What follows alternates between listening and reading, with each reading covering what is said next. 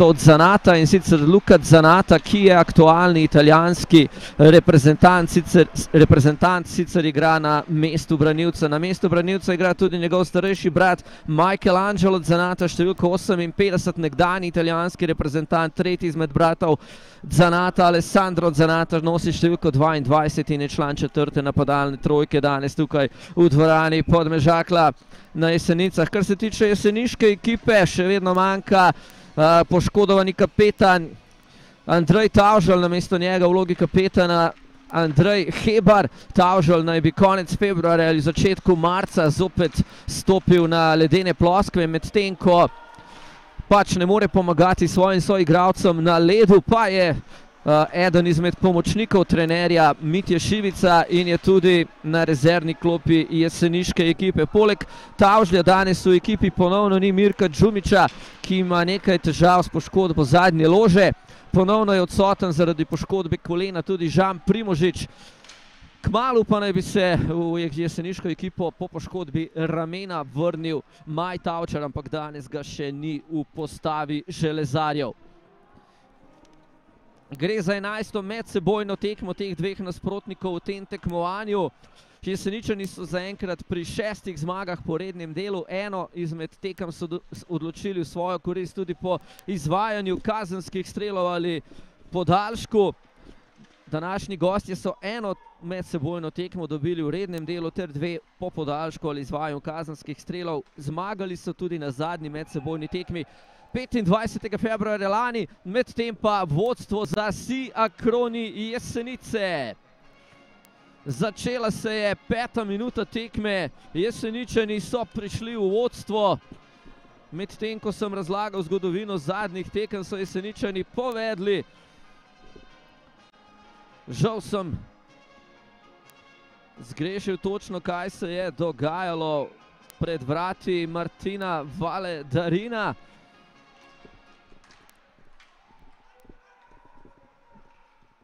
Najbolj pomembno pa je, da so Jeseničani v tem trenutku v vodstvu.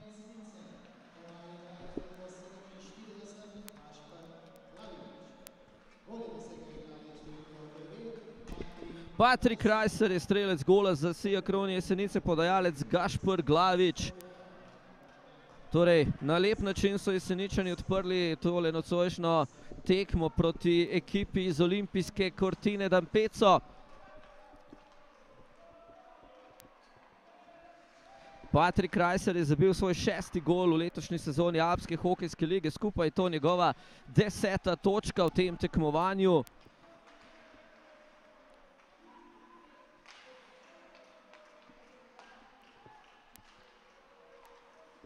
Gašper Glavič pa je pri svoji drugi podaji v tem tekmovanju. Poleg tega, da so Jeseničani uspešni v zadnjem obdobju kot ekipa in so v nizu kot že rečeno, petih zaporednih zmag v Alpski hokejski ligi. So nekaj priznanj prejeli tudi posamezniki jeseniške ekipe. Žan Jezovšek je bil izbran za najboljšega igralca minulega tedna, potem ko je pred tednom dni tukajle na tekmi proti vodilnemu Pustertalu dvakrat zadev v polno in bil eden izmed glavnih junakov zmage proti Pustertalu. Volkovom iz eh, Puštrtala in je potem v soboto dodal še hat-trick na gostovanju v Gardeni.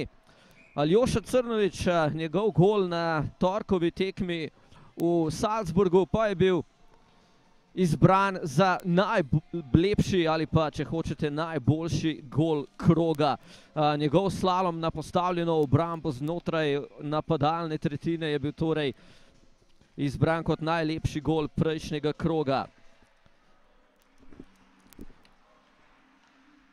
Jeseničani imajo sicer na lestvici štiri točke prednosti pred nocojšnjimi nasprotniki odigrali, pa so tudi štiri tekme manj v dosedanjem delu sezone. Jeseničani so skupaj z ekipo KC iz celovca ekipa, ki je v dosedanjem teku tega tekmovanja odigrala najmanj tekem. Zanimivo Jeseničan je bil v primerjavi, če bi nadoknadili vse za ostale tekme na lestvici, štirimi točkami razlike lahko prehiteli vodilni Pustertal. Edina ekipa, ki je ne bi mogli prehiteti, je drugo uvrščena Olimpija, ki prav tako danes igra v Tivoliju. Njen nasprotnik so mladi rdeči biki iz Salzburga. Še vedno je ena proti nič v dvorani Podmežakla, medtem ko je v teku sedma minuta tekme. Patrik Rajsar na podajo Gašporja Glaviča je strelec za enkrat edinega gola. Sodniki na nocojšnji tekmi so Borut Lešnja, Gregor Režek kot glavna sodnika ter Matej Arlič in Anže Brgant kot linijska sodnika. Ivo Mahacka je glavni trener gostov iz Cortine. Ivo Mahacka, nič kaj italijansko ime in italijanski primek, ampak vendarle gre za v Bruniku rojenega hokejskega strokovnjaka, ki je kot igralec tudi igral za to ekipo iz Brunika, bil je napadalec. Letošnja sezona pa je njegova prva v vlogi glavnega trenerja pri ekipi Cortine. Lani je vodil ekipo tega kluba v prvenstvu do 19 let. Nejc Stojan pri ploščici, pa Erik Svetina, potem pa so jeseničani pak izgubili. Mike Kacola, številko 13, je hokejist, na katerega bodo morali biti železari nocoj še kako pozorni. Enako velja za Remija Giftopolosa, številko 73. To sta najboljša strelca Kortine. Trenutno sta na lesvici celotne Alpske hokejske lige, kar se tiče liste strelcev, oba med najboljšo peterico. In sicer je Kacola na tretjem mestu s 37 točkami, Giftopolos pa na petem mestu s 34 točkami za primerjavo. Najboljši jeseniški strelec Blaž Tomaževič je s 26 točkami na 16. mestu. Vodilni na tej lesvici napadalec Feldkircha Jakob Stukal, ki je zbral 22 golov in dodal 18 podaj, skupaj 40 točk na 20 odigranih tekmah. Timotej Kočar v napadu oziroma pošilja ploščico v napadalno tretjino, tam je Martino Valedarin z nenavadno številko za hokejskega vratarja, številko 11. Potem pa Remi Giftopoulos, kanačan grških korenin, druga njegova sezona v Cortini in v Alpski hokejski ligi. Zanimivo, Remi Giftopoulos je bil v lanski sezoni najboljši igralec Alpske hokejske lige v statističnem elementu plus minus. Jaka Šturam v napadu, pa Andrej Hebar, Sašo Rajsar. Rajsar je z Bekenom skušal podati nazaj proti Jaki Šturmu. Ja, če je Žanje Zovšek v soboto dosegel hat-trick na gostovanju v Gardeni, pa sta dva njegova soigravca oba z imenom Jaka Šturam in pa Sodja zabila vsak svoj hat-trick na gostovanju v torek v Salzburgu. In kot že omenjeno, tisti sedmi gol na tej tekmi je dosegal Aljoša Crnovič in ta njegov gol je bil izbran kasneje tudi za gol kroga. Torej pomemben podatek za Mitjo Šivica in pa za vse navijače Jesenic, da so razpoloženi različni strelci v tem trenutku, v tem obdobju. Zadnji poraz Jeseničanov je tisto gostovanje pri Asjagu z nič proti tri. Od takrat naprej so Jeseničani bistveno dvignili svojo učinkovitost in premagali teden dni nazaj na lepem obračunu tudi vodilni pustata, kot smo že omenili. Prodor Andreja Hebarja na koncu je vendar je posredoval Martino Valedarin. Najc Stojan.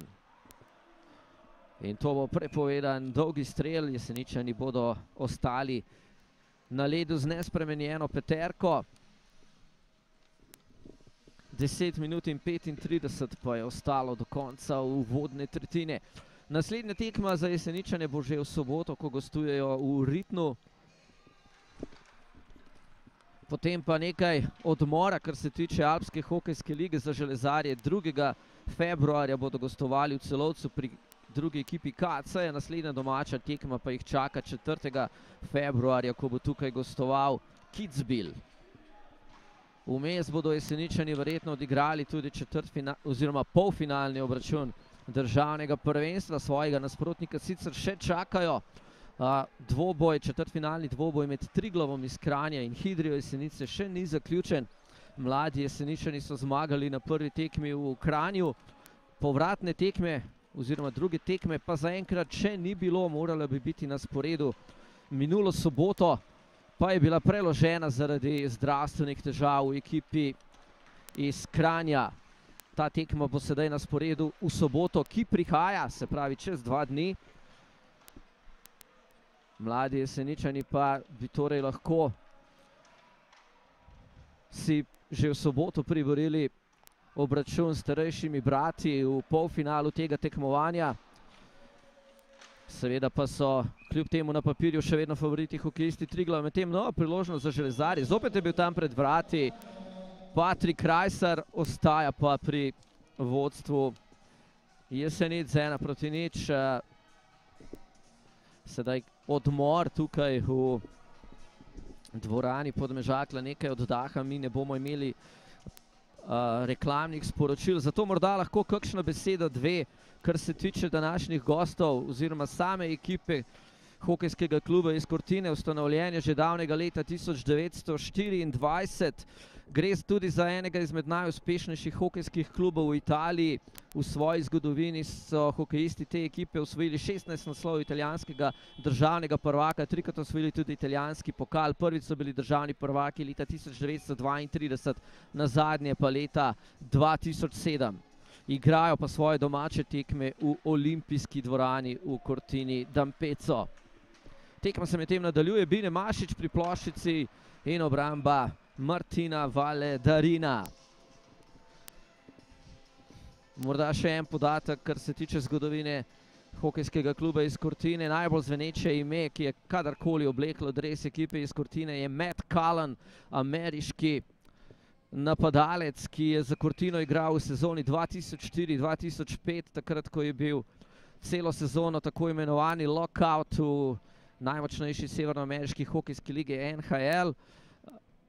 To pa je hokejist, ki je leto predtem oziroma spomladi leta 2004 za ameriško reprezentanco osvojil bronasto medaljo na svetovnem prvenstvu elitne divizije. Kasneje, leta 2006, je osvojil Stanleyov pokal z ekipo Carolina Hurricanes in dodal nova dva prstena v svojo zbirko v sezonah 2016-2017, ko je bil najboljši v najmočnejšem hokejskem tekmovanju še z ekipo Pittsburgh Penguins. Medtem se je igra preselila pred vrata Žana Usa, oziroma seveda Urbana Avsenika, danes je Urbana Avsenik pač čuvaj mreže železarjev. Urban je plošico ujel in nov sodniški met je pred njegovim golom 8 minut in 51 koncev vodne tretjine. Aljoša Crnovič.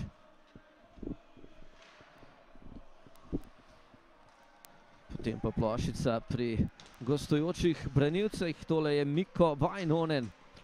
Finska ukrepitev pred letošnjo sezono. Hokejske je igral tudi v ligi Ebel za Orle iz Nojma in pa za ekipo Dornbirna. Tole je še enkrat bil Vajnonen obramba Avsenika, potem po strelu Gif Topulosa in pa ploščica na koncu izbita v neutralno tretjino. Jaka Sodja, Jaka Sodja, potem pa obramba Valedarina, tam je bil Blaž Tomaževič, pak pa mu je preskočil palico. Nekaj sprememb je tudi v ekipi Kortine v primerjavi z lansko sezono. Recimo zadnjo medsebojno tekmo sta ti dve ekipi odigrali 25. februarja, še ena akcija železarjev, Jaka Sodja strel, Saša Rajsarjev, obramba Martina Valedarina. Takrat so hokejisti Kortine zmagali s 5 proti 4 v podaljšku. Zmagoviti gol je zabil kanadski branilec Nik Trekapeli, ki pa ga ni več v Kortini. Prav tako ne ameriškega branilca Nika Brunetoja. Zamenjala pa sta ju nam dobro poznana brata Phil Pietroniro in pa Chad Pietroniro, ki sta predtem igrala za Sjago hokejista, s katerima imajo določeni jeseniški hokejisti tudi slabše izkušnje recimo predvsem nekdani železar, sedaj napadalec Olimpije, tedaj Čimžar.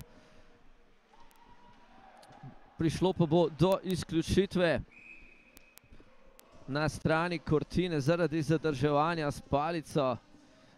Tako je pokazal Borut Lešnjak, mora italijanske reprezentance, danes odsotni Luka je še vedno aktualni član italijanske reprezentance oziroma vsaj igral je na zadnjem svetovnem prvenstvu elitne divizije, ki pa je bilo že leta 2019. No, jeseničani niso prav dolgo igrali z igralcem več zaradi oviranja, bo moral sedaj na kazensko klop, mislim, da Gašpr Glavič.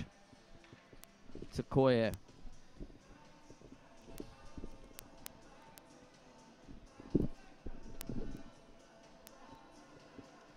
Jeseničani sicer niso med najuspešnejšimi ekipami v igri z igralcem več, pa, bomo, pa se bomo tej statistiki posvetili kasneje, namreč sedaj boste obe ekipi igrali s po štirimi igralci v polju.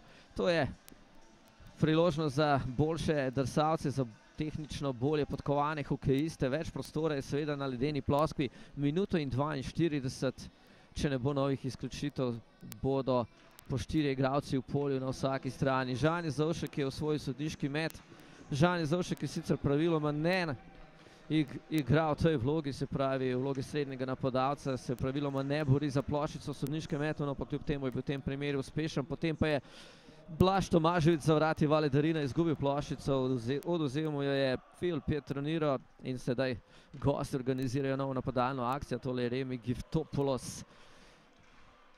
V napadalno tretjino je prišel, ob njem je Nik Širovnik, Potem je Giftopoulos izgubil plošico, nekako niti Širovnik, niti Giftopoulos nista točno vedela, kje je.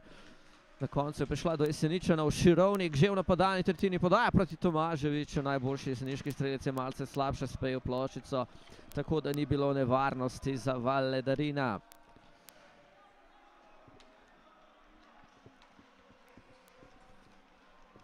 Erik Svetina prek modre črte, Patrik Rajsar. Na modri črti čaka Lukaš Čap. Izmenjava podaj med Drajserjem in Svetino, strel Patrika in obramba Valedarina.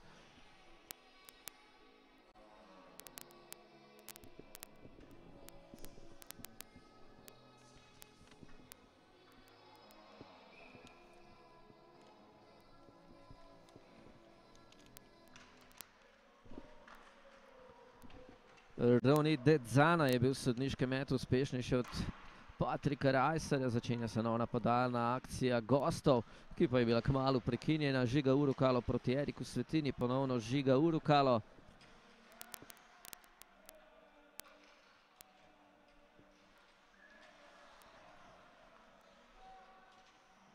Še vedno pri ploščici Žiga Urukalo, potem jo je prepustil Binet oziroma Gašpor Sršenov in na koncu po posredovanju Marka Zane je pak končal na rezervni klopi Jeseničanov. Na osodniški med bo v neutralni tretjini, med tem so gostje že v popolni postavi, Gašpor Glavič pa bo na kazenski klopi še naslednjih 18 sekund. Torej sedaj kratko obdobje, ko bodo gosti imeli igralca več na ledu. Avsenik proti Jaki Sodji in na ta način se bodo jeseničani z igralcem manj tudi obranili. Vajnonen, Vajnonen je bil sicer mladinski svetovni prvak oziroma svetovni prvak s finsko reprezentanco do 20 let leta 2014. Tole je Andrej Hebar, njegov strel blokiran, tam je pri plošici potem Sašo Rajsar, Jaka Šturam in pa nesporazum z Nikom Širovnikom. Sašo Rajsar, ki smo ga prej omenili, je zbral dve podaji na prvi medsebojni tekmi teh dveh nasprotnikov v Alpski hokejski ligi in sicer je bilo to 21. septembra leta 2016. Jeseničani so tisto tekmo dobili 6 proti 1, Sašo Rajsar pa je edin izmed jeseničanov, ki so se takrat upisali med strelce ali podajalce, ki je danes spet ali še vedno ali ponovno član železarjev. Na drugi strani je edini gol zabil Francesco Adami. Priložnost potem za železarje, Valedarin je plošnico odbil, potem pa do nje nikako ni prišel Andrej Hebar. Medtem pa prepovedan položaj, ko so italijani prečkali modo črto na drugi strani. Torej Francesco Adami, kapetan nocojšnji in tudi kapetan Cortine v letošnji sezoni je bil strelec edinega gola za Cortino na prvi medsebojni tekmi teh dveh nasprotnikov v zgodovini Alpske hokejske lige. Kapetan gostov sicer nosi številko 76, je srednji napadalec druge napadalne trojke.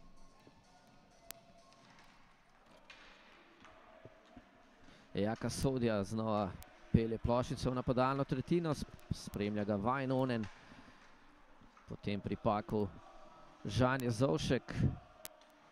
Ja, ta napadalna trojka je izjemno razpoložena v zadnjem obdobju, se pravi Jaka Sodja, Žanje Zovšek, Blaž Tomaževič.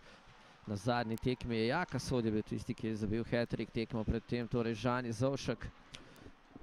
Blaž Tomaževič pa pridno zbira podaje, praktično je zraven kot podajalec pri vseh golih, ki jo zabijata njegova soigralca v napadu. Zopet bo prišlo do kazni na strani Kortine.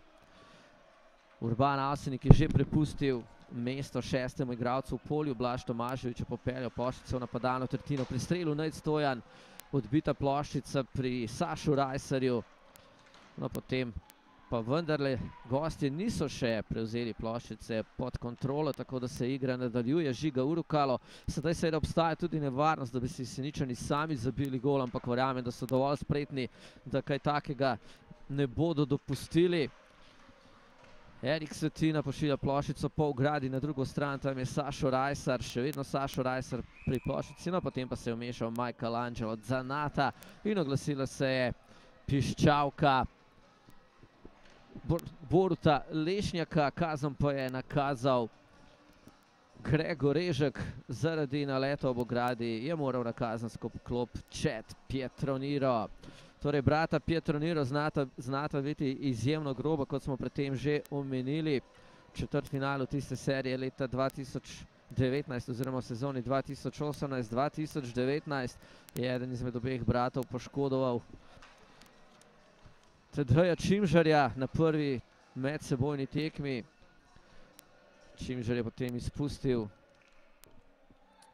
ostale tekme v tej seriji, pa potem pomagal svojim tedanjim soigralcem v polfinalu proti Pustertalu.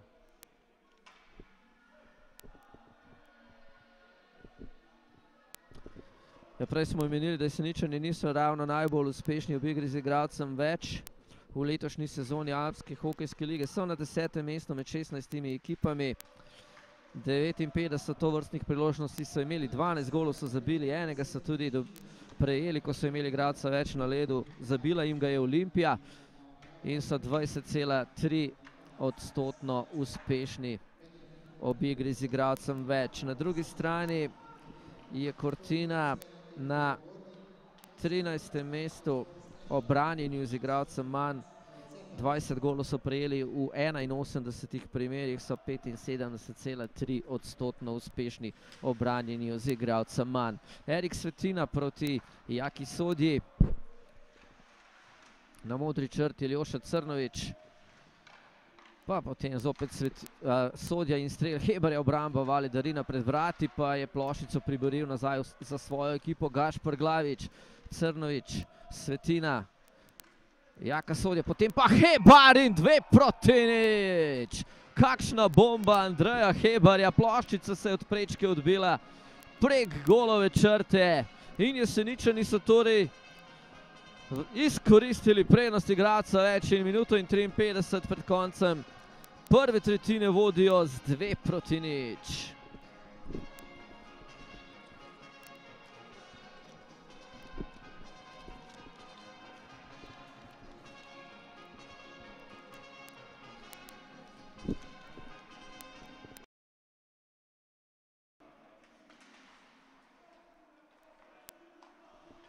Za Andreja Hebera je to peti gol v tej sezoni in skupno 17. točka.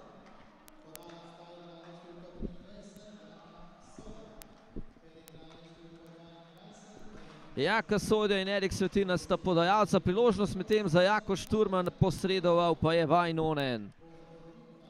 Urban Avsenik. Sašo Rajsar. Blaž Tomažič prek modre črte, v sredini se odkriva Bine Mašič, strel Mašiča, tam je tudi Sašo Rajsar. Ostaja dve proti nič.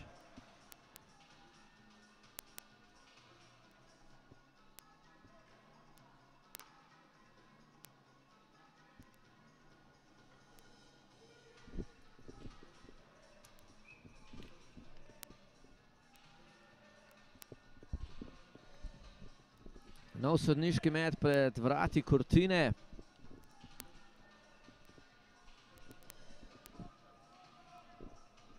Za železarje bo ploščico skušal pridobiti Blaž Tomaževič, to mu sicer ni uspelo, ampak sedaj pritisk Jeseničanov na branilce Kortine, globoko v napadalni tretjini železarjev, na koncu je pa končal prek zaščitne ograde.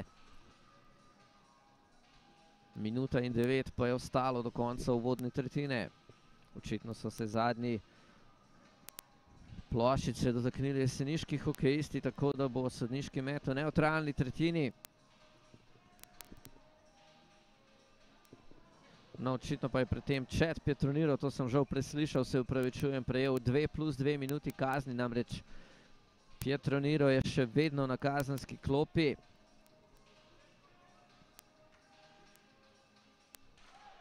Tako da imajo Seničani še naprej igralca več, kljub temu, da je Andrej Hebar zadev polno. Tomaževič prek modre črte, v sredini Sašo Rajsar. Mašič, Šturam, še enkrat Bine Mašič.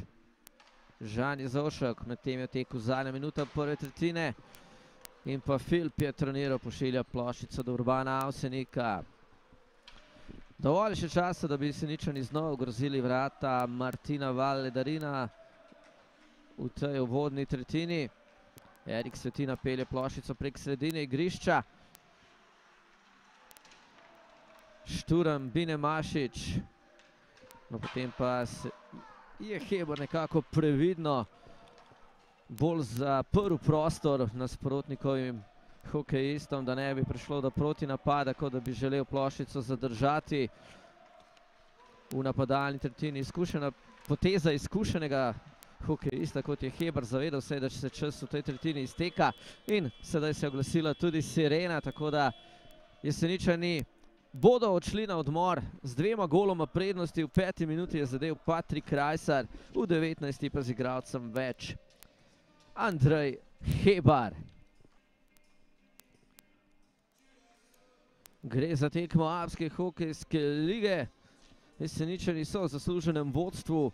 Bolj malo je bilo akcije na drugi strani pred vrati Urbana Avsenika, ki je danes dobil priložnost da pokaže svoje znanje tudi v Alpski hokejski ligi. Predtem je prav vse minute v dosedanjem delu sezone v tem tekmovanju med oziroma v vratih Jesenic stal Žan Us. Osem sekund je ostalo še kazni za Čeda Petronira za začetek druge tretjine. Vzeli se bomo nekaj odmora z komentatorskega mesta, preden pa se bo tekma nadaljevala, pa bomo z vami znova nazaj v živo.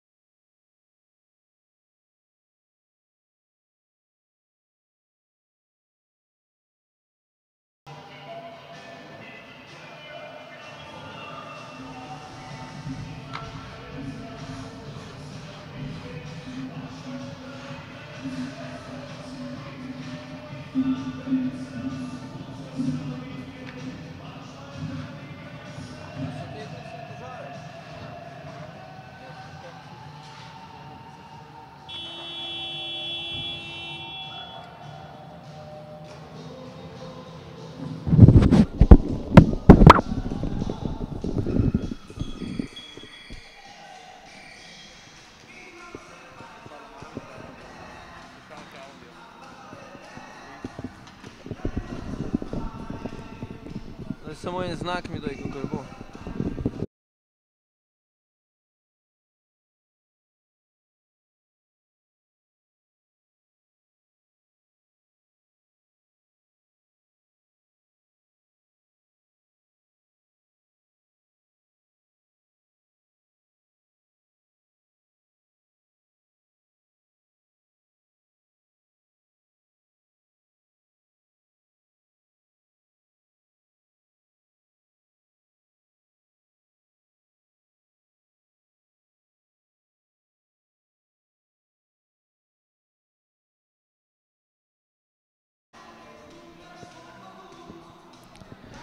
Spoštovane gledalke, spoštovani gledalci, ljubitelice in ljubitelji hokeja na ledu, znova lep dober večer na Hokej TV, hokejtv.si, videotogov.live in TV Tržič. Smo pred začetkom druge tretjine tekme Alpske hokejske lige, nasprotnika sta Cortina Hafro in pa Si Kroni Jesenice. Po 20 minutah vodstvo železarjev z dve proti nič.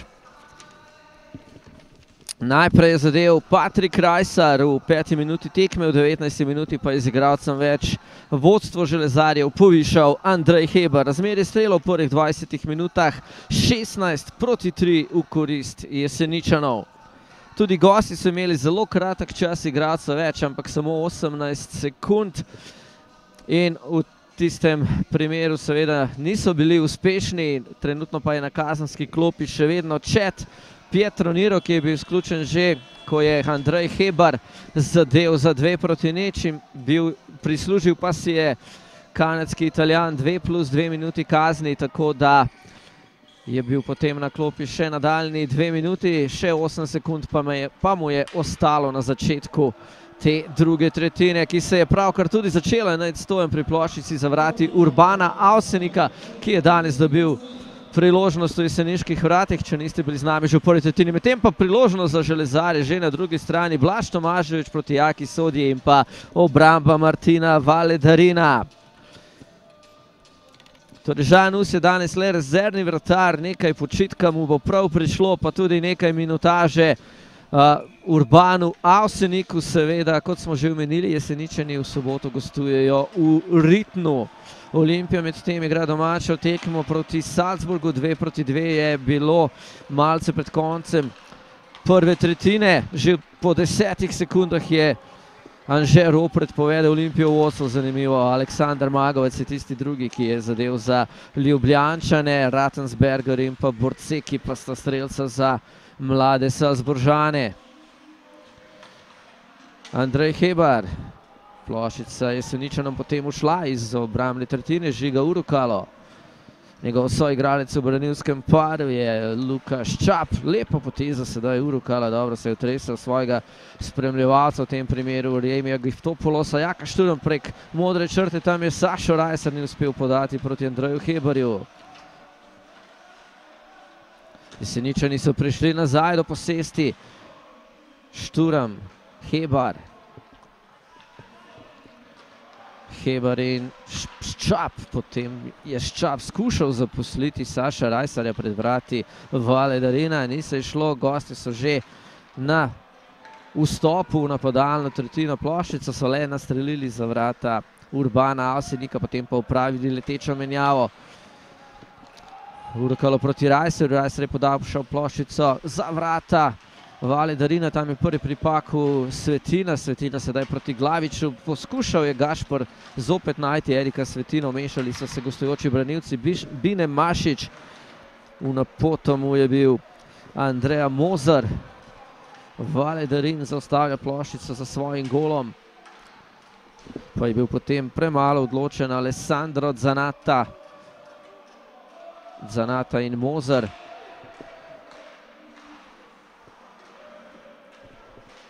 Še ena priložnost za Jeseničane, odbija Valedarin, Luka Brnabo, pa je plošico samo takole poslal proti sredini igrišča. Nik Širovnik je vračal nazaj v napadalno tretjino.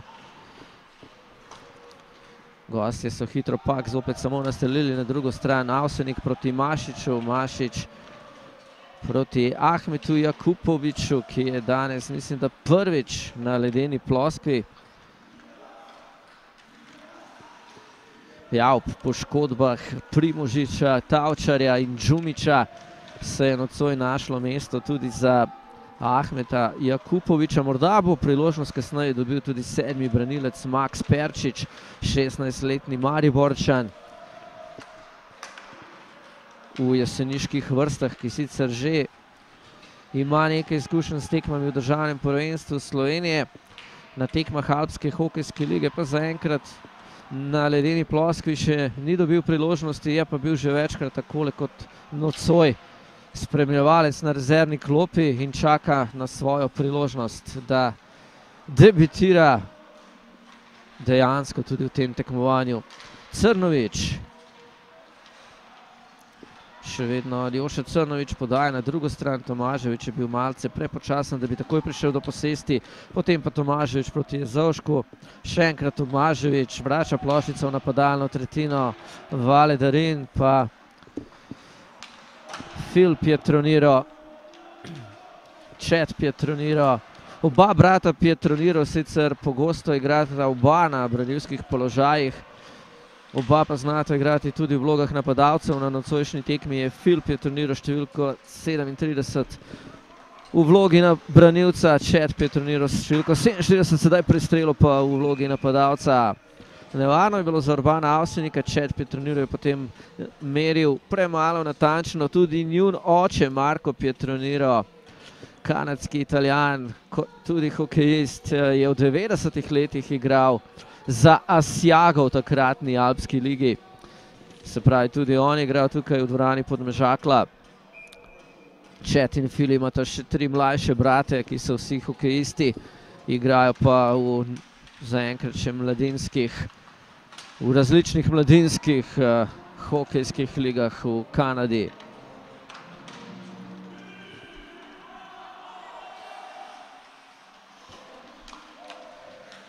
Hebar Ščap, prek modre črte, Jaka Šturan, pa Sašo Rajsar, Sašo je pričakoval nekoga na njegovi levi, pa ga ni bilo, ampak pri tem tudi prekršek gostov, udarec s palico, Roni Dedzana je očitno tisti, ki mora na kazansko klop.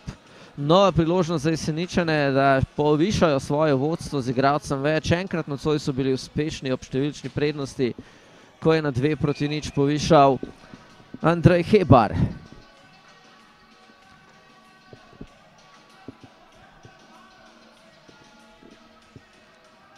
Sašo Rajsar ima nalogo, da usvoji ploščico v sodniškem metu, to mu je tudi uspelo, Bine Mašeč, Jaka Šturam, Sašo, oziroma Blaž Tomaževič je tole. Sašo Rajsar je pred vrati, Tomaževič mu je podal ploščico, potem Šturam pa težave Jaka Šturma in gosti so pak poslali prek Remja Giftopolosa na drugo stran igrišča. Žanje Zavšek. Edini pravi branilec v tej postavitvi je Seničanov z igralcem več je mladi Bine Mašič, Blaž Tomaževič in Fil Pietroniro, potem pa Jaka Šturam, še enkrat Tomaževič. Je Zavšek, Tomaževič, je Zavšek. Zopet Tomaževič pred vrati, Rajsar, strel je Zoška, Rajsar ni prišel do odbitka, gostje gre do splošico na drugo stran prek Majka Kacole, podajo sredino, kjer je Fil Pietroniro brez zaključnega strela, pa tudi brez prekrška na jeseniški strani. Dobro so železari preprečili nevarnost z igralcem več. Jaka sodja, leteča menjava v jeseniških vrstah. Erik Svetina s plošico v napadalno tretjino, Andrej Hebar, Aljoša Crnovič, njegov strel blokiran, Gašpor Glavič pri odbiti ploščici, Gašpor Glavič in Massimo Cordiano v boju za pak, tam je tudi Michelangelo Zanata, Glavič proti Hebarju, Svetina, Crnovič, Hebar, umešal se je nehote, jaka sodja in ploščica je se ničenom ušla iz napadalne tretjine. Crnovič. Jaka sodja. Sedaj je bil Andrej Heber v napoto Jaki sodi in zopet je ustavljena jeseniška akcija z igralcem več. Čas izključenemu Roniju Dedzani na kazanski klopi pa se izteka. Še zadnjih pet sekund Crnovič znova nazaj v napadalno tretjino.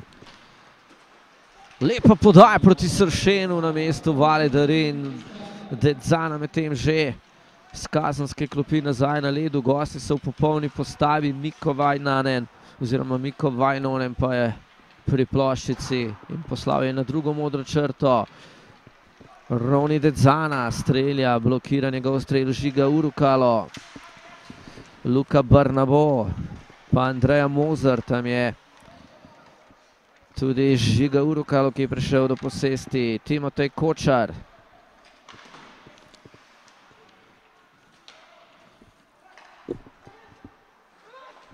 Kordiano in Emanuele Larhar, pa potem preveč hokejistov na ledu in to tistih v rdečih dresih očitno. Sedaj jih sicer je samo pet, ampak Žan je Zavšek že čaka, da se bo usedel na kazansko klop.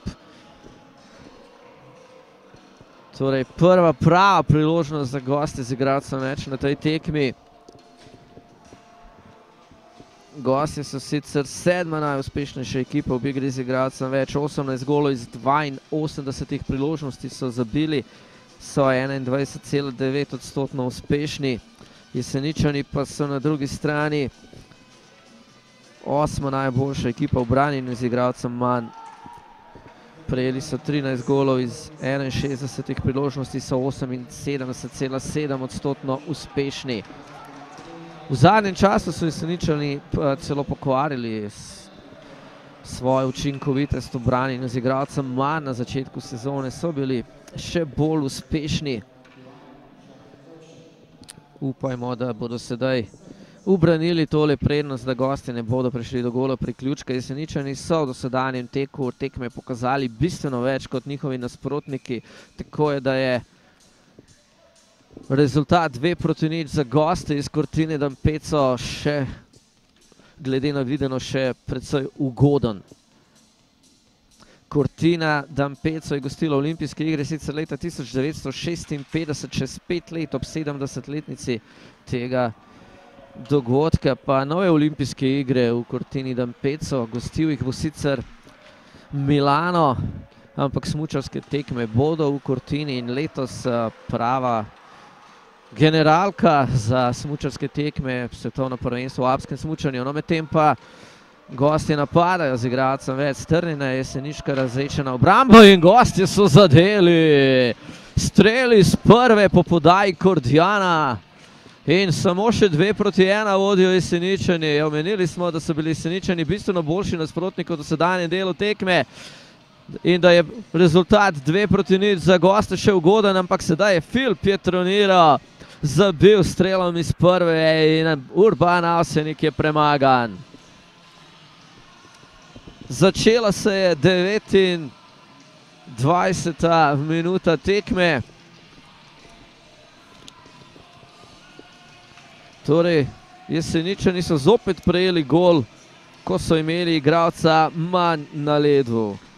Ta element hokejske igre bo v nadaljevanju potrebno izboljšati prav tako, kot tudi igro z igralcem več.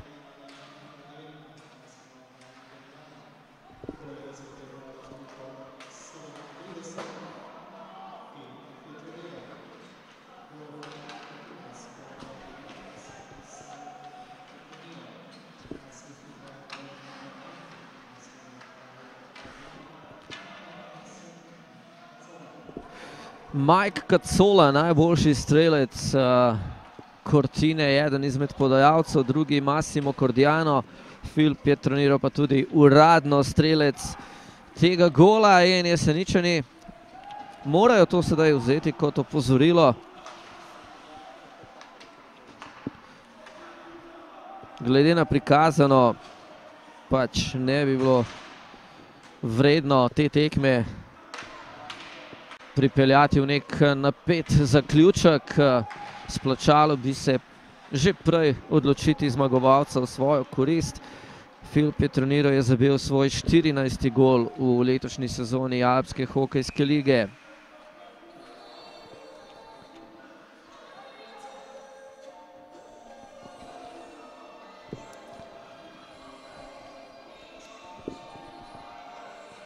Nov sodniški med pred vrati Urbana Avsenika.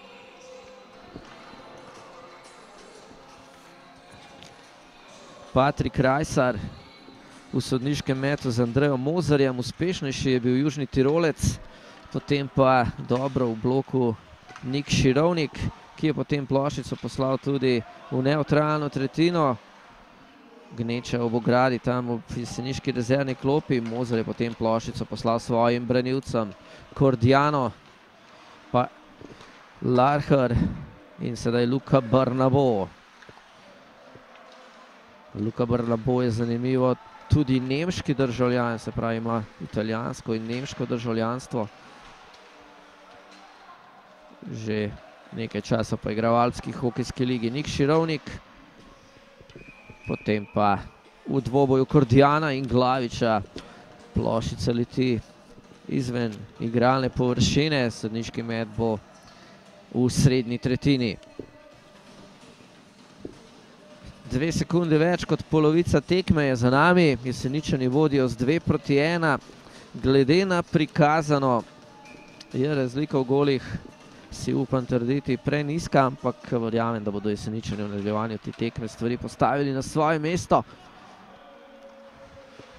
So vzponi in paci v jeseniški igri med samimi tekmami, ampak saj na zadnje v Salzburgu so potem strnili svoje vrste, odigrali bolj odgovorno v zaključku tekme.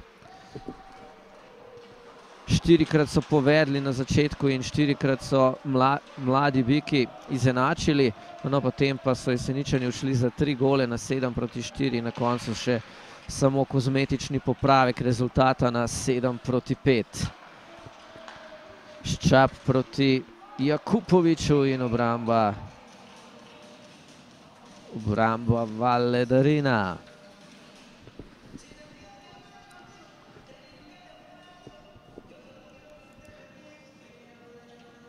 Torkova tekma v Salzburgu je bila kar precej dinamična oziroma ogromno drsene z obeh strani in precej hitrih kombinacij, tudi veliko število golov. Prevečkrat so sicer jeseničani pustili na ledu svojega vratarja Žana Usa, ampak sreči so bili učinkoviti v napadu in tako tekmo odločili v svojo korist. Jaka Sodja. Remi Giftopolos je v vlogi branilca, sedaj plošico poslal na drugo strani grišča. Tomaževič. Tomaževič in Čerp je treniral še vedno Tomaževič, potem Žan Jezovšek. Malce prepočasen je bil za tole plošico, gosti so zahtevali prepovedan položaj, igra pa se nadaljuje. Kacola.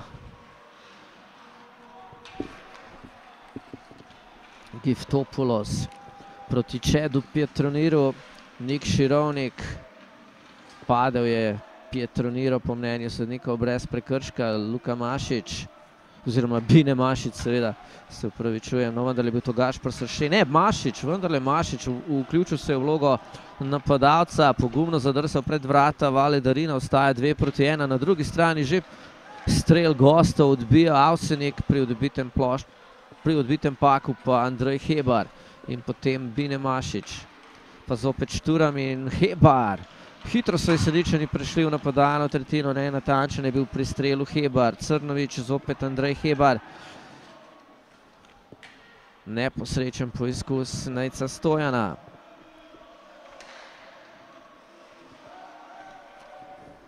Še enkrat pri Paku Stojan podaja proti Sašu Rajsarju, v sredini se odkriva Hebar.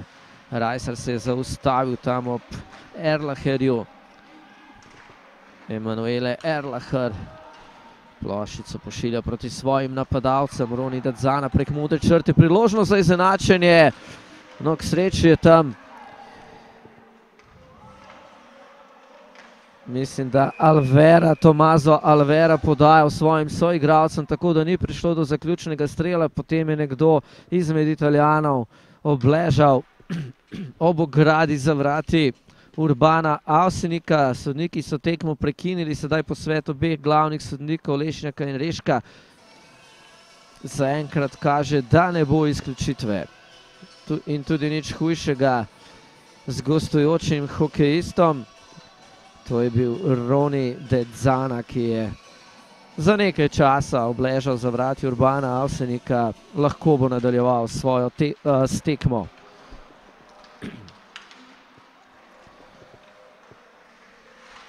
Enrico Larhar je poslal ploščico za vrata Avsenika. Potem Mozarin, Urukalo, pa Lukaš Čap še enkrat Urukalo. Svetina proti Patriku Rajsarju. Patrik Rajsar prek modre črte ob Enrikeju Larharju. Torej, dva brata Zanata danes v postavi gostujoče ekipe in pa tudi brata Larhar, starejši Emanuele, številko 27, mlajši Enrico, številko 53. Oba sta branilca.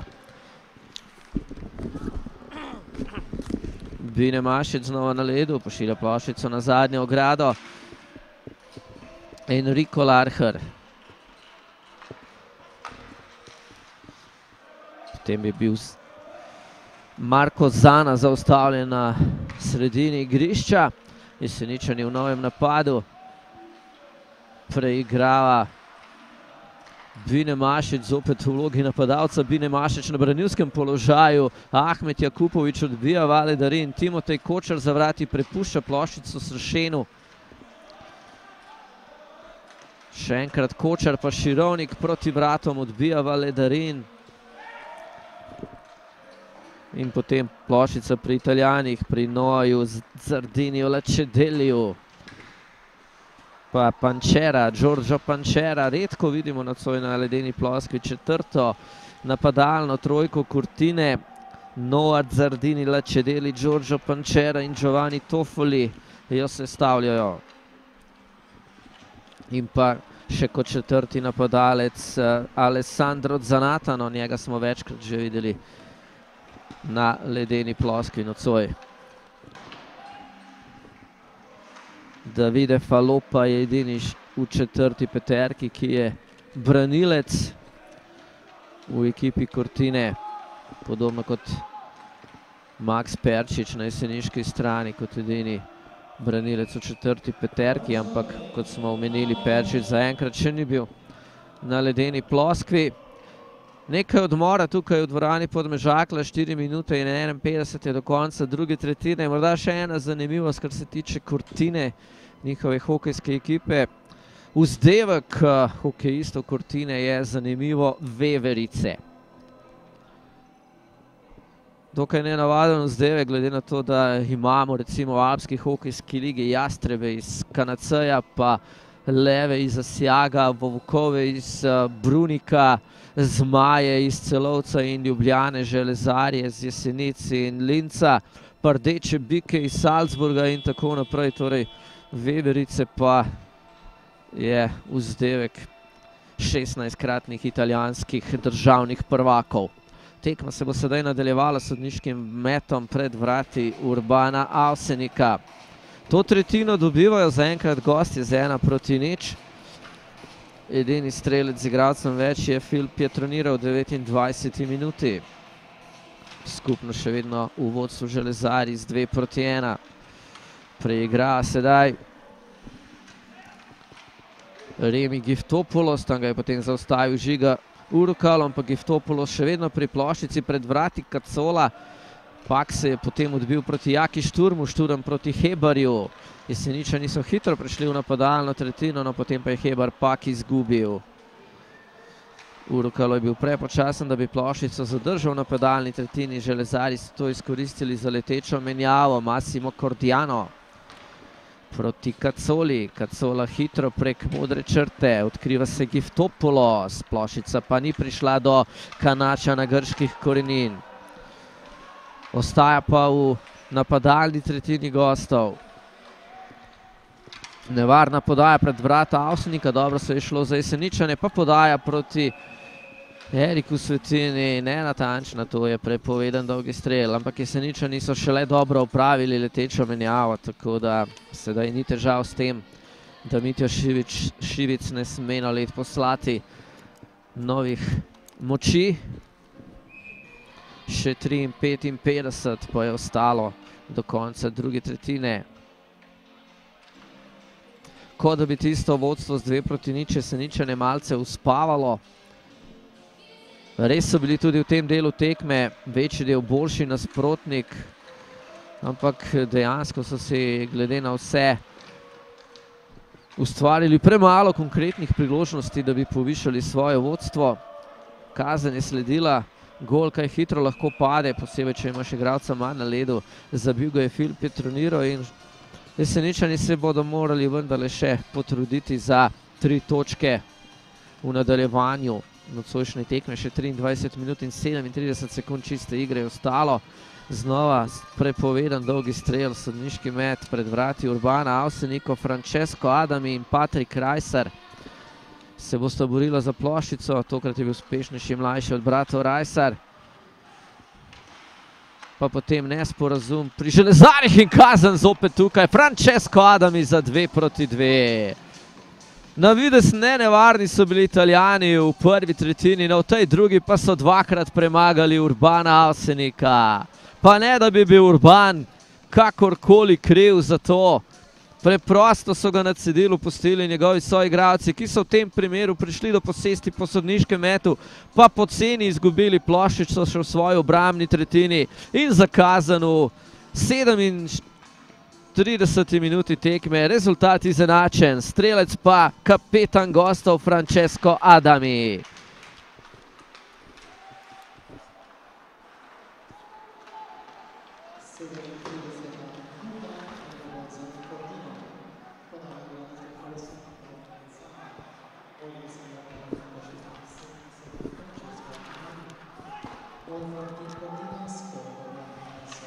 Roni Dedzana pa je podajalec pri golu Francesca Adamija za dve proti dve.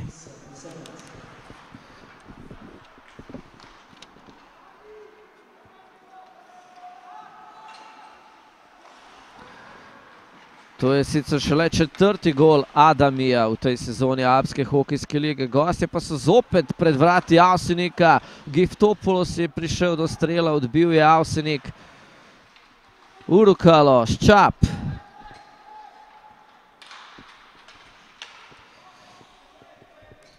Ja, zdi se mi, da bo moral Mitja Šivic po koncu te tretjine v garderobe in malce vzdigniti glas in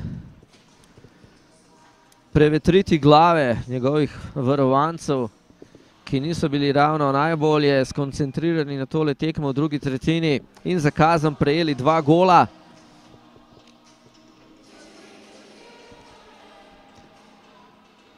Na novo pa jim ni uspelo premagati Martina Valedarina, ki v tem obdobju ni v najboljši formi, kot sem že povedal na začetku prenosa na zadnjih dveh tekmah, je Martino Valedarin vsega ki dobiva priložnost ob odsotnosti Marka de Filipa Roje, prejel 11 golov. 6 proti 3 je Lustenov premagal Kortino na zadnje, predtem pa je Kortina 7 proti 5 premagala mlade hokejiste iz celovca.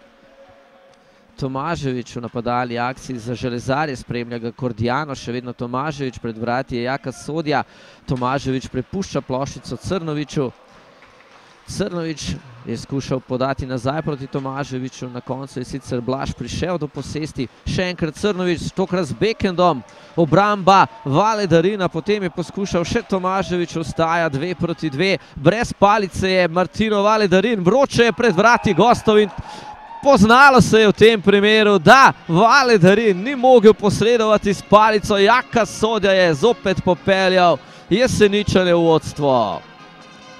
Tudi z malo sreče so sedaj jeseničani prišli do vodstva, kot da jih je tudi predramil tisti prejšnji gol Francesca Adamija. Sedaj so pokazali v tej napadalni akciji predvsej več mneme kot v večjem delu te druge tretjine tekme. In minuto in 25 sekund pred koncem druge tretjine Jeseničani zopet vodijo.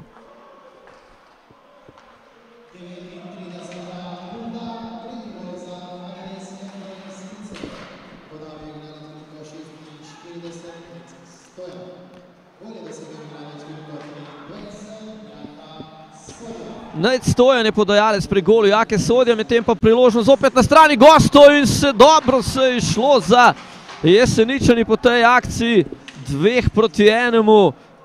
Pri strelu je bil Tomazo Alvera, medtem pa na drugi strani že akcija Jeseničanov, zgrešil je vrata Sašo Rajsar po podaji Jake Šturma.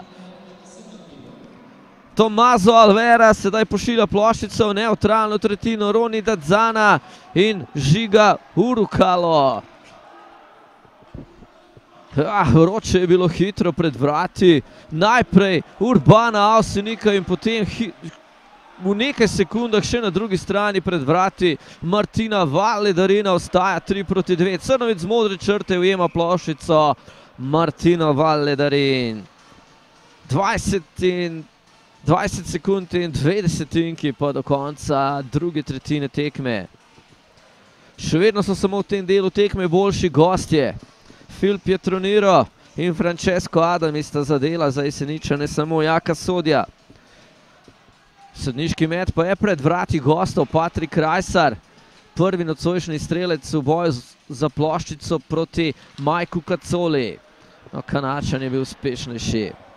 Kanačan italijanskih korenin seveda lahko pričakujemo, da bo kmalu pridobil tudi italijansko državljanstvo. Njegova prva sezona v Cortini in v Alpski hokejski ligi, medtem pa nekaj vroče krvi med Čedom Pietronirom in Patrikom Rajsarjem. Tam je tudi Vajnonen in pa Gašpor Glavič. Nekaj izključitev bo, oziroma bolje povedano, ena sama izključitev. Patrik Rajsar bo moral na kazansko klop. Patrik je sicer, mislim, da vrnil udarec Čedu Pietroniru. Očitno pa sodniki niso videli, kaj se je pred udarcem Patrika Rajsarja zgodilo. In bojim se, da je Patrik Rajsar dobil dve plus dve minuti kazni. Namreč Borut Lešnik je pokazal, da je šlo za udarec v glavo. 4 sekunde in 7 desetinke samo ostalo do konca druge tretjine. Dovolj je časa, da gosti še ogrozijo vrata Urbane Avsenika še v tem delu tekme.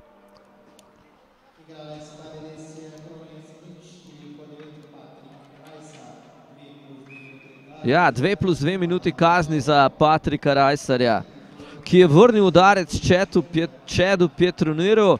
Čed Pietronir ostaja na ledu, torej trda bo predla Jeseničanom v naslednjih štirih minutah. No, za drugo tretjino pa je poskrbel Jaka Sodja, da ni bilo več nevarnosti. Blokiral je strel Massima Kordjana, sedaj za nekaj časa obležal na ledeni ploskvi, ampak takšne borbenosti smo pri Jaki Sodju vajeni. Fond bo stisnil zobe in prišel nazaj maksimalno pripravljen za tretjo tretjino, ki jo bo Patrik Rajsar začel na kazanski klopi. Tam bo 3 minute in 56 sekund, če gosti ne bodo prej zadeli. Jeseničani odhajajo na zadnji odmor z vodstvom 3 proti 2. V 29. minuti je Phil Pietroniro z igralcem več znižal na 1 proti 2, potem je Francesco Adami poskrbel za izenačenje v 37. minuti po neodločnosti jeseniške obrambe. Jaka Sodja je vrnil jeseničane v vodstvo v 39. minuti. Nekaj odmora za vse nas, pa tudi za vas, pred začetkom tretje tretjine pa smo znova z vami nazaj v živo.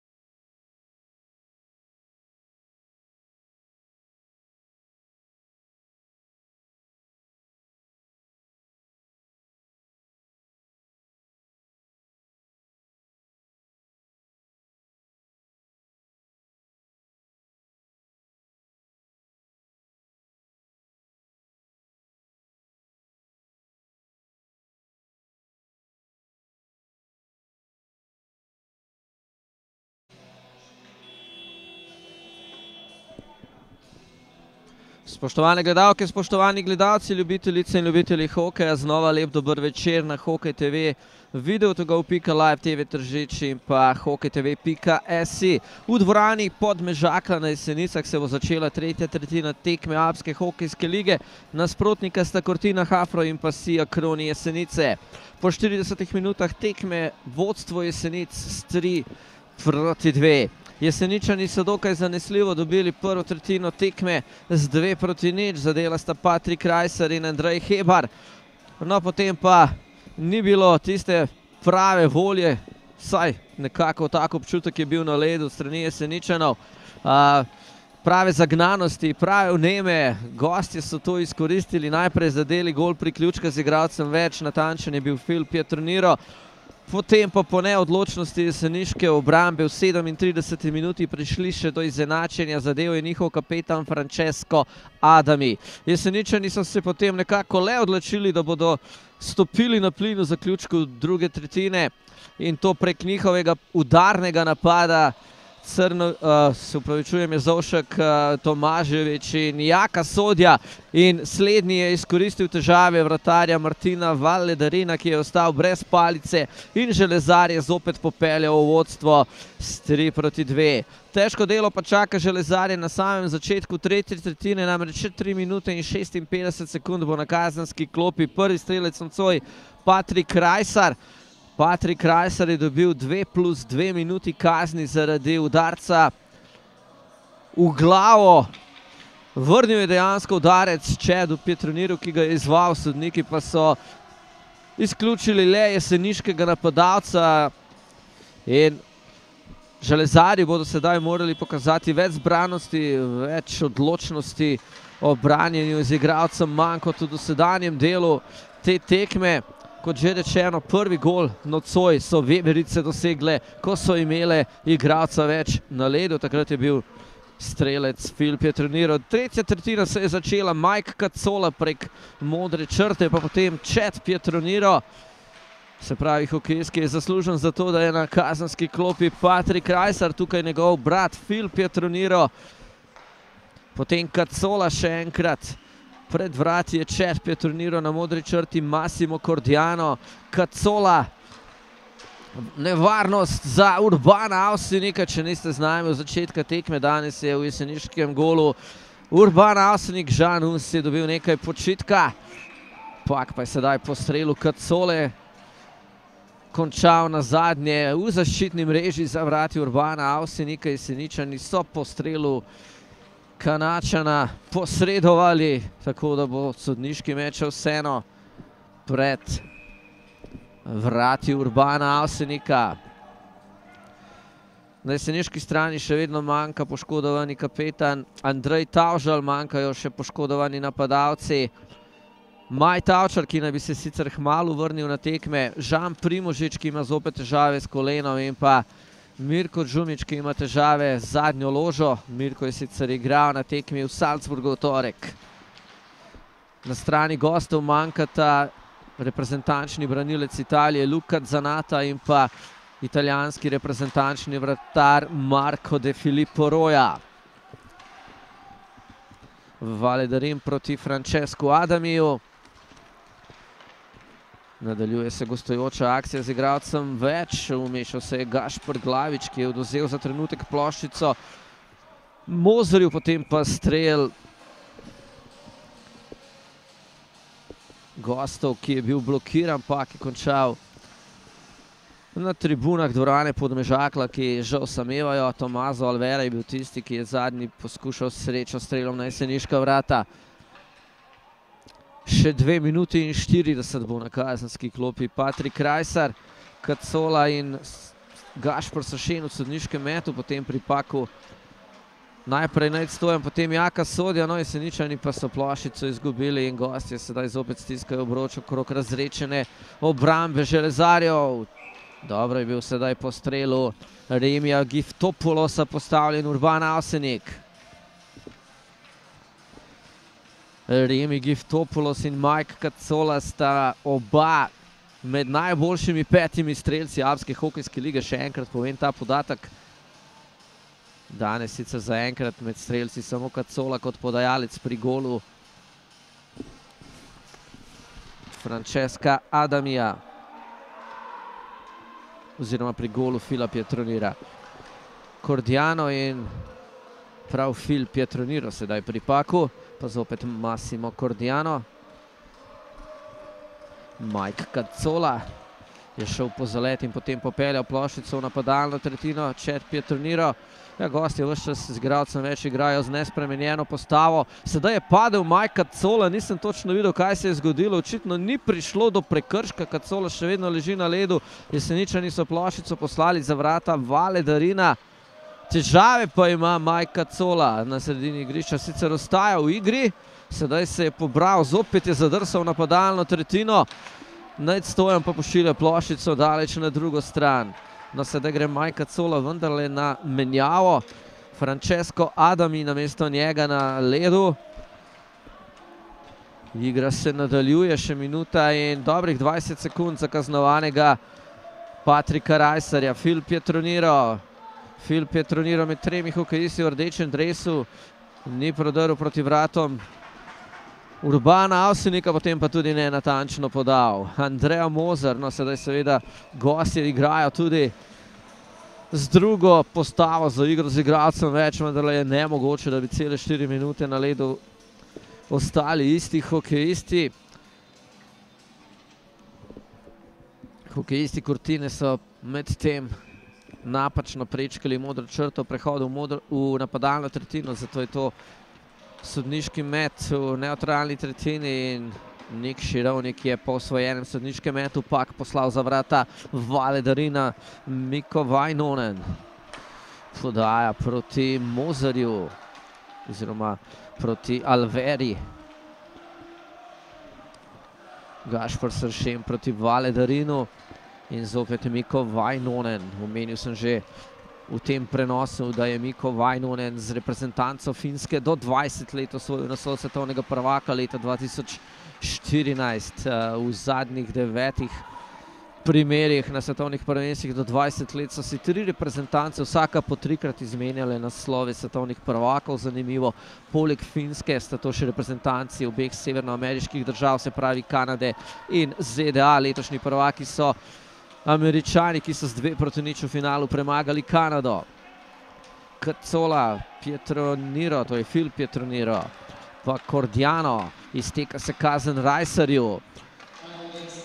Rajsar je med tem že na ledu, gostje pa še vedno napadajo. Ni bil pozoren Cordiano na Patrika Rajsarja in sedaj gre na drugo stran s pakom Jaka Sodja, ampak hitro so bili nazaj v obrambi trije hokejisti v belih dresih. Majka Cola očitno ni kaj hujšega z njim, pa strel Fila Pietrnira nenatančno je meril.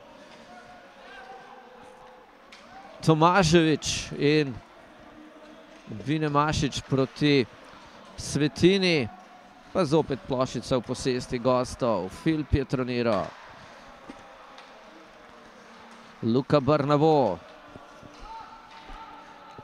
Gosti odhajajo na letečo menjavo. Bine Mašič organizira nov napad svoje ekipe prek modre črte, v napadalno tretjino mimo Enrika Larharja. Še vedno Bine Mašič, še vedno Bine Mašič, no sedaj je predolgo časa zadrževal plošico v posesti in proti napad gostov odbija Urban Asenik. Zana, Marko Zana, ob pritisku Najca Stojenja je Zana izgubil plošico, na drugo stran gre do Jeseničani. Podajal je Erik Svetina proti Tomaževiču, pak potem prije Zovšku. Crnovič sedaj kot napadalec pritiska na gostujoče branilce v začetku organizacije njihovega napada in to je pripeljalo do prepovedanega dolgega strela, tako da se igra seli pred vrata Martina Valedarina. Andrej Heber, Sašo Rajser, Jaka Šturan kot napadalci na branilskih položajih, Žiga Urukalo in Lukaš Čap bodo nadaljevali za jeseničane. Roni Dadzano v sodniškem metu na strani gostov. Uspešnejši je bil Sašo Rajsar, Enrico Larhar, pa potem Roni Dadzana. Marko Zana, Roni Dadzana, strel Dadzane, obramba Avsenika Jaka Šturan. Pod pritiskom Luka Barnaboja, izgubil je plošico, trikratni strelec tekme v Salzburgu v torek. Massimo Cordiano prek modre črte, potem pa njegovi akciji ni sledil Zardini Lačedeli, pak sedaj zavrati Jeseničanov, Avsenik,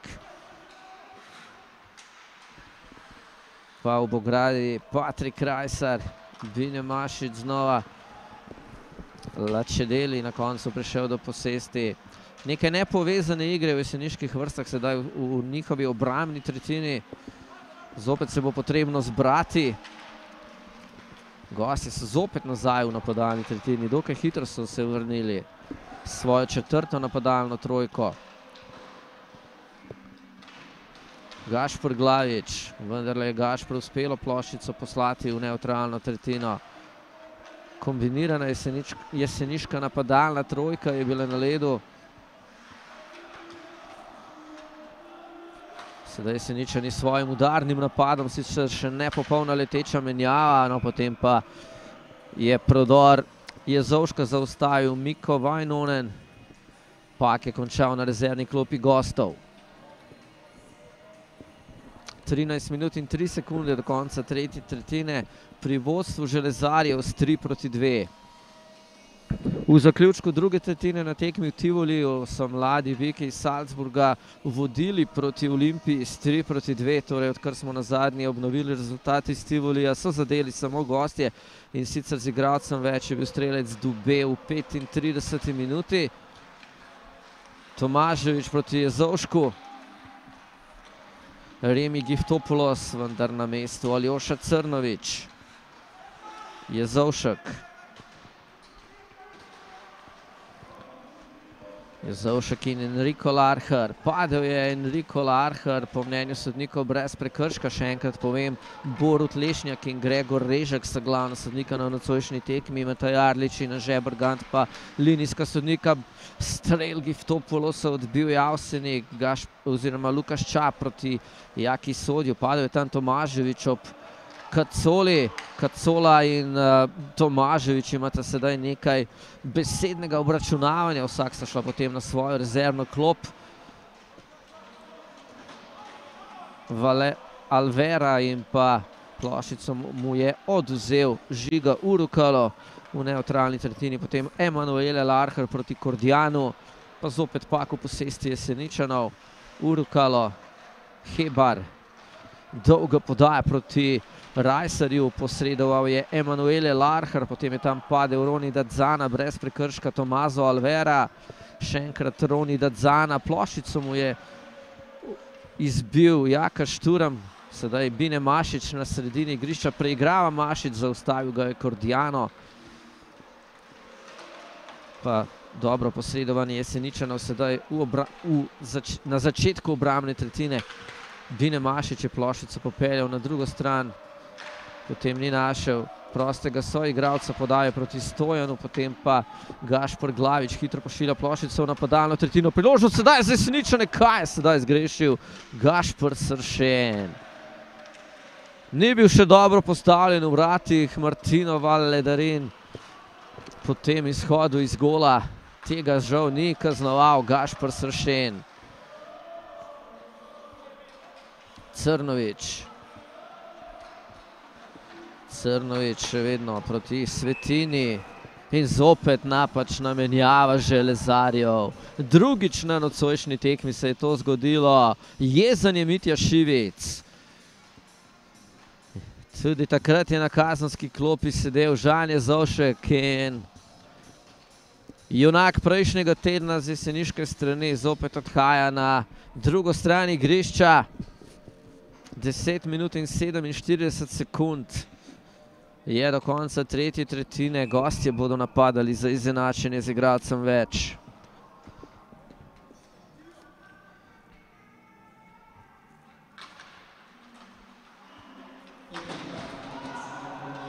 Tole pa je bilo kar ostro posredovanje.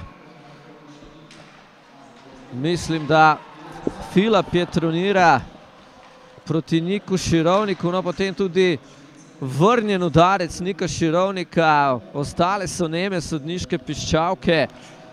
Igra se nadaljuje, gosti pritiskajo z igracom več na vrata Urbana Avsenika. Strel Pietronira, Fila Pietronira sedaj blokiran, potem pa takole v visokem lobu z Bekendom. Sašo Rajsar pošilja pak na drugo stran do Valle Darina. Nove moči v rdečih dresih za branjenje z igracem Manso na ledu. Gašpor Glavič. Gosti bodo verjetno še kar nekaj časa ustrajali s temi petimi za igro z igracem več. Massimo Cordiano.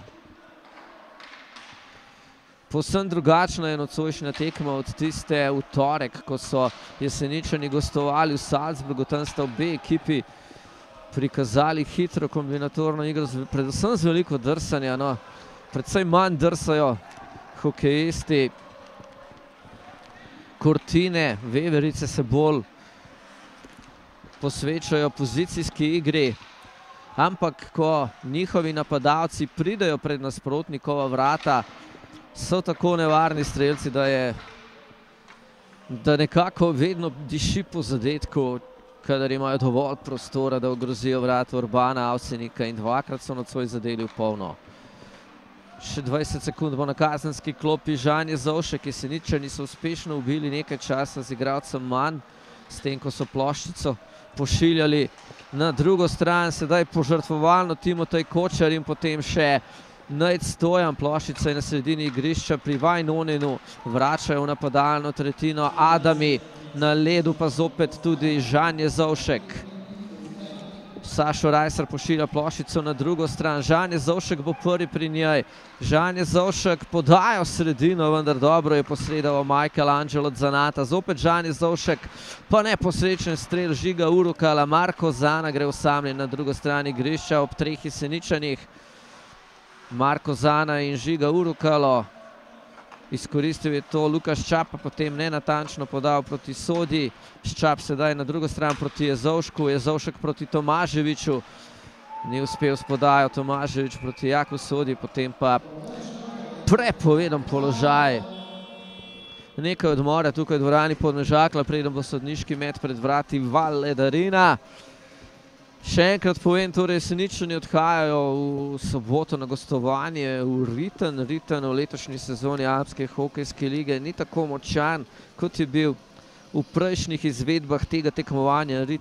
Ritner Boam je sicer prvak v tem tekmovanju iz prve sezone 2016-2017. Trenutno je ta ekipa na desetem mestu prvenstvene lestvice po 17 odigranih tekmah imajo 28 točk, ki se ničeni recimo po 12 odigranih tekmah.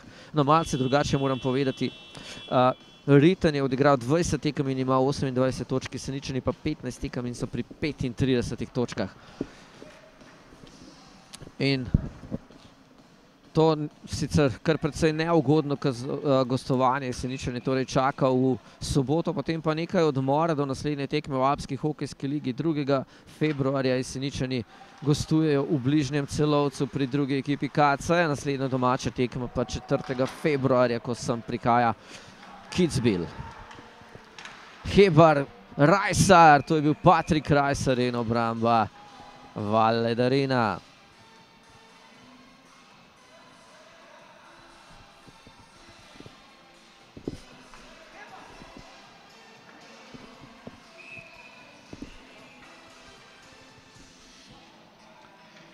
Jesenični svojo prvo napadalno trojko, prav tako tudi gostje.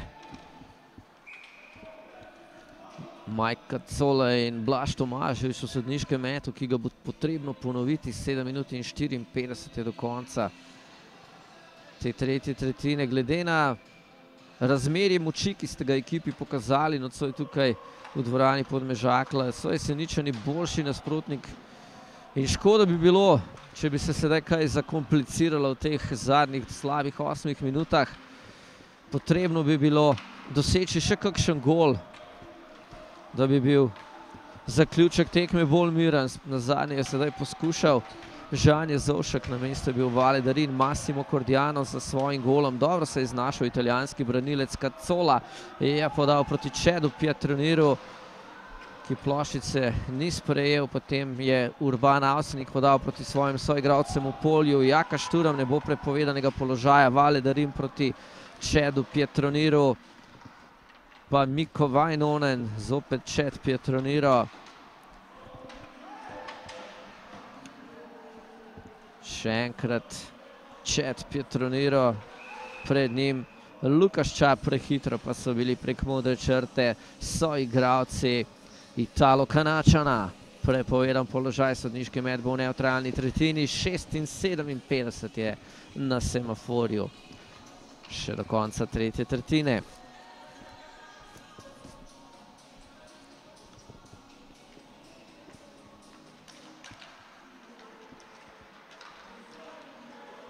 Roni Dedzana odbija Urban Avsenik.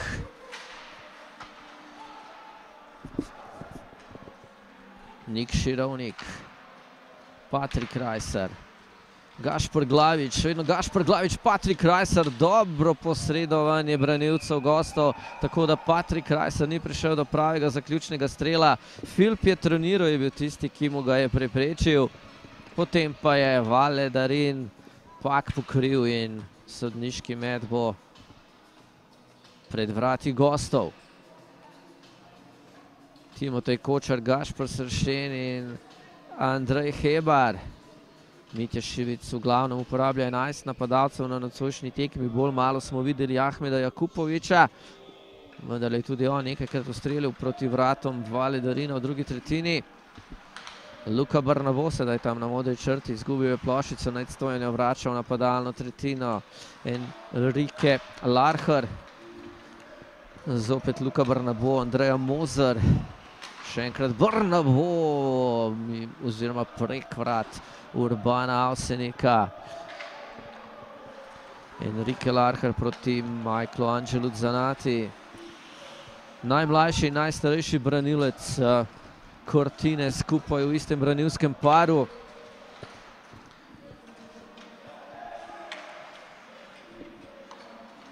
Giftopoulos proti Cacoli, Čet Pietroniro ob njem, Žiga Urukalo. Na modri črti Massimo Cordiano, za vrati Mike Cacola.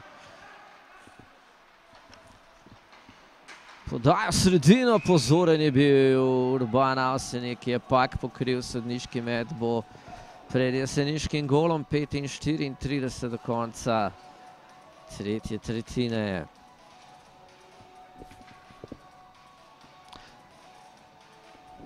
Glede na razmerje moči v večjem delu te tekme, nepredviden, tesen zaključek. Ampak tako pač je, če ne pokažeš vsega, kar si sposoben. Gostje so vendarle toliko kakovostni, da znajo izkoristiti svoje priložnosti. Nista Remi Giftopoulos in Majka Cola kar tako med najboljšimi petimi strelci lige. Sedaj pa napaka Širovnika, no dobro se je sicer išlo potem za Jeseničane. Čet Pietroniro, pa Fil Pietroniro proti Giftopoulosu. Hokejisti, ki so sedaj na ledu v belih dresih, bodo do zaključka tekme dobivali še več minutaže. Miko Vajnonen, Mike Cacola, otresel se je za trenutek Širovnika, pa se nik ne da. Vajnonen v sredino, dobro je bil postavljen tam oziroma pripravljen na to Bine Mašič, Cacola, strel Cacole zadev zunanji del mreže, potem pa so se premaknila vrata. Urbana Avsenika, sedaj nekaj vroče krvi na jeseniški strani, namreč že po sodniškem žvižgu je še enkrat plošico proti jeseniškim vratom poslal Mike Cacola. No, tudi to je neke vrste provociranje, ki v tako tesnih zaključkih lahko pride do izraza. Francesco Adami in Patrik Rajsar se boste borili za plošico v naslednjem sodniškem metu. Vsak sodniški met je sedaj še kako pomemben. Patrik je bil uspešnejši, potem nekaj težav Jeseničanov pri prehodu iz obrambne tretjine. Sedaj malce ponogometno Tomazo Alvera, jeseničani vračajo pak nazaj za vrata Valedarina, Emanuel oziroma Enrique Larhar pa Michael Angelo Zanata. Očitno Ivo Mahacka kar precej zaupa mlademu branilcu Enriqueju Larharju, celo več kot njegovemu starejšemu bratu Emanueleju. Enrique Larhar in Michael Angelo Zanata še enkrat. Jeseničani se sedaj osredotočajo na branjenje minimalnega vodstva.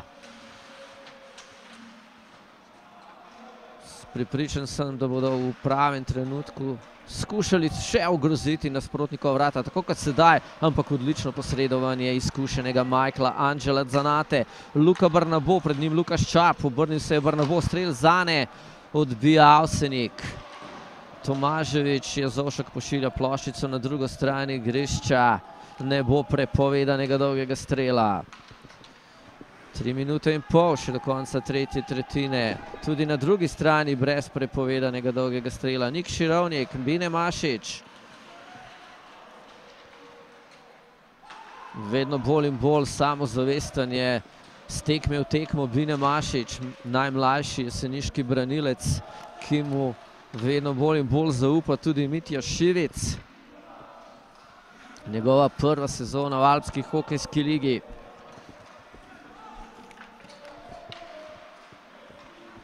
Majka Cola prek sredine igrišča, še vedno Majka Cola nevaren je bil tale strel, sicer na koncu malce nenatančen. Nov poskus gostov, Filip je treniral, je bil to, ujel je pak Urban Avsenik, 52 je še do konca.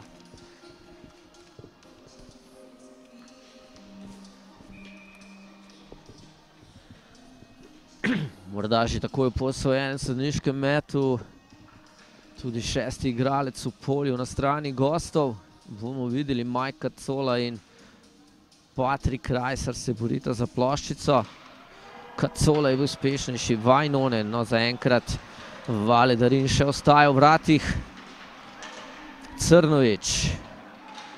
Aljoša Crnovič pelje ploščico na drugo strani igrišča. Crnovič bo sedaj prodrl na podalno tretjino. Zaustavi se je potem pred Filom Petronirom podal proti Glaviču. Strel Glaviča, še en poskus. Kočarja dvakrat je bil na mestu Valedarin. Gosti so s pakom že nazaj v napadalni tretjini, ampak v posesti jeseničani. Jaka Sodja gre na drugo stran, sedaj osamljen med gostujočimi hokejisti, ampak dobro se je znašel Jaka Sodja. Michael Angelo Zanata in Massimo Cordiano sta tam na pomoč je počasi prišel Žan Jezovšek, Mike Kacola. Nekako je lepo peljal plošico v napadalno tretjino kljub pritiskom Žana Jezovška. Massimo Cordiano, zadnji dve minuti sta med tem že v teku. Kacola in Giftopoulos. Vendarle je Remi še nekako zadržal plošico v posesti. Čvrst, čvrsti so v igri s palico ti hokejisti, Cortine, no, medtem pa posredovanje z visoko palico na strani italijanske ekipe. Tako da bo to sodniški met v neutralni tretjini in pa, če sem videl prav, polminutni odmor na zahtevo Iva Mahacke.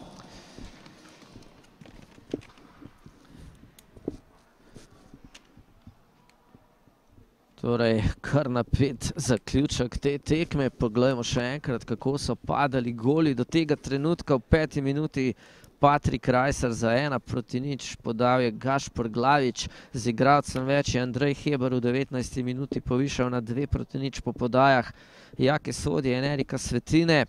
Filip Petroniro z igralcem več je znižal na dve proti ena v 29. Podala sta Mike Kacola in Massimo Cordiano, potem je izenačil Francesco Adami, kapetan gostov, podal je Roni Dedzana, trenutni rezultat je v 39 minuti postavil Jaka Sodja po podaji Nejca Stojana. Minuta in 33 je še do konca tretje tretjine, Sašo Rajsar in Majka Cola v sodniškem metu. v nizkem štartu za odhod iz vrat je Martino Valedarin. Miko Vajnonen pri plošici, Majka Cola. Majka Cola v napadalni tretjini na drugo stran proti branilcu oziroma na branilskem položaju, sicer napadalec Remi Giftopulo, strel proti vratom odbija Avsinik, gostje so sedaj šestimi igralci v polju. Kje bo naslednji sodniški met? Minuto in devet sekund pred koncem tretje tretjine. Posvet sodnikov na koncu Anže Brgant kaže, da bo sodniški met pred vrati Urbana Avsinika.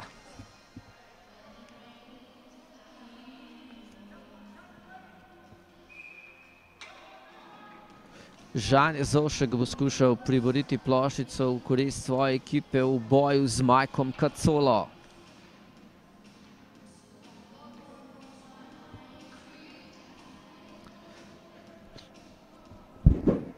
Veliko krat stranski sodnikov pozarjajo Majka Kacolo v sodniškem metu.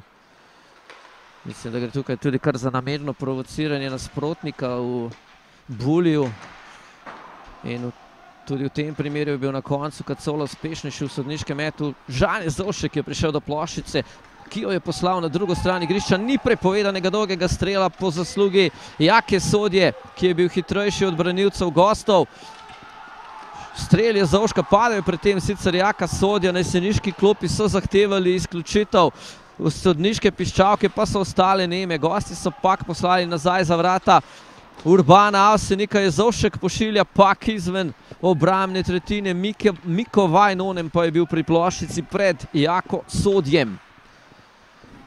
Še dobrih 20 sekund. Remi Giftopulos pošilja pak v napadalno tretjino. Žan je Zovšek proti Niku Širovniku.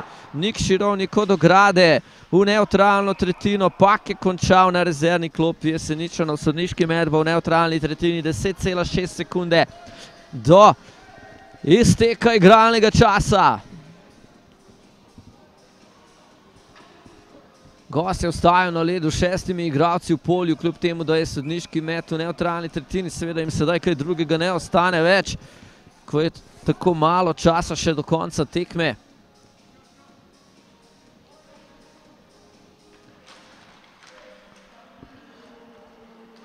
Zadnja nevarnost za vrata Urbana Avsenika, vendar pak je spolzel iz jeseniške obramne tretjine in vendarle tri točke. Težje, kot je bilo pričakovati, glede na razplet igre v prvi tretjini, ostaja v dvorani Podmežakla. Predvsej slabša predstava jeseničanov kot tista tukaj pred tednom dni, ko je v hramu jeseniškega hokeja gostoval Puštrtal. Ampak najbolj pomembno je, da so jeseničani izvlekli poln plen z te tekme, da so sedaj pri 38 točkah v letošnji sezoni Alpske hokejske lige in da bodo zadržali vsaj četrto mesto na prvenstveni lestvici. Morda še enkrat na hitro buditev spomina, kakšen je sistem tekmovanja, torej po 33 odigranih krogih bo vsega sezono nadaljevalo najboljših 12 od 16 ekip, najboljše štiri pa se bodo neposredno uvrstile v četrt finale. Ekipe vršene na mesto od 5 do 8 bodo igrali tako imenovane kvalifikacije za uvrstitev v četrt finale, pri čemer bodo ekipe vršene od 5 do 8 seveda imele prednost domačega igrišča, se pravi tista prva meja, ki jo ekipo ekipe želijo doseči, je uvrstitev med najboljših 12, potem če se le da med najboljših 8 in seveda tiste najboljše med prve štiri in med prvimi štirimi sta zaenkrat obe slovenski ekipi in to kljub temu, da imajo predvsem jeseničani manj odigranih tekem kot večina konkurenčnih ekip. Spremljajte še, kako se bo zaključila tekma med Olimpijo in Red Bullom iz Salzburga v Tivoliju. Za nocoj pa toliko z dvorane Podmežakla, kjer je Seničani novo domačo tekmo v tem tekovanju igrajo. Torej 4. februarja, ko tukaj gostujejo Orli iz Kitzbila, Veverice iz Kortine Dampeco pa domov odhajajo praznih rok. Jeseničani so bili boljši s 3 proti 2 po zaslugi golov Patrika Rajsera, Andreja Hebarja in Jake Sodje za goste pa sta zadela Filip Pietroniru in kapetan Francesco Adami. Hvala lepa za nocoj. Kar se tiče Hokej TV, hokejtv.si, videotogov.live in TV Tržič. Uživajte preostanek nocojšnjega večera, ostanite zdravi, razmišljajte pozitivno in nasvidenje ob naslednji hokejski priložnosti.